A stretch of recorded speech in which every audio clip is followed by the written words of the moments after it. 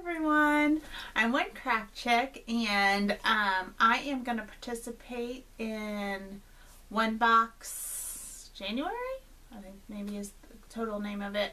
But it's all about Purge. And that is one of my goals for 2017. Um, purge, share, create. Those are my goals for this year. So I'm going to kind of take you around a little bit and just show you where I have a couple of spots for where I am throwing things or purging things.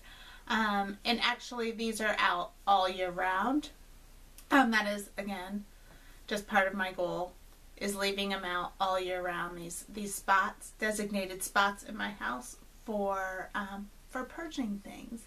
So there's one downstairs in our dining room, which we don't use very much. I mean, we have a like an eating kitchen, but um, so we don't use our dining room except for for special occasions. So that is a spot for. Um, it's got a box for giving to Goodwill, and then there's one upstairs in um, in the master bathroom bedroom. Excuse me, in the in our master bedroom where I can just, if I pull something from my closet, I'm like, you know what, I haven't worn this in like a year, so it's time to just throw that out, and um, so then I can get something new maybe.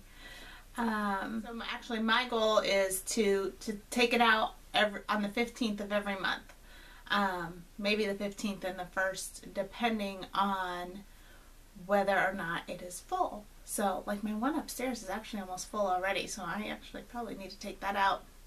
Um, and give it to Goodwill or Will Salvation Army. And here in Indiana, we have a uh, a group called the Julian Center, and they do so many wonderful things. So um, that isn't far. Their drop off isn't far either. So I think I will probably drop things there as well. Um, I hope you are participating. And I hope you kind of get some ideas maybe from this video. And um, so happy purging! Happy 2017! Um, I would love to hear how you are doing this, so if you want to comment below, that would be great. Um, I am going to try and be more about doing some videos this year, so if you want to subscribe, I think I'll put a subscribe thing uh, maybe over here. I don't know. this is where pretty much anything from downstairs goes in. Oh, there are two bins here. So there's this bin, and then there's actually a bin back there. Um, and I actually think I need to take these things probably to Goodwill. Maybe tomorrow. Our house is still very much a um, work in progress. We still have a baby gate. That's always fun. And then this is, I love the bin. I could never figure out what to do with it.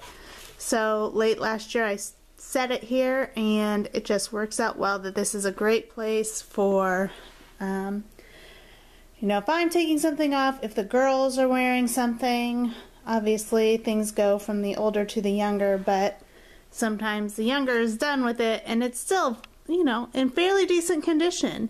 Um, and it would be great for somebody else to use. So, and sometimes it's in great condition because, you know, she doesn't wear it enough or she didn't like it. And so, those are my piles, and this one needs to go and be emptied right now as well. I think I will go do that. All right, bye.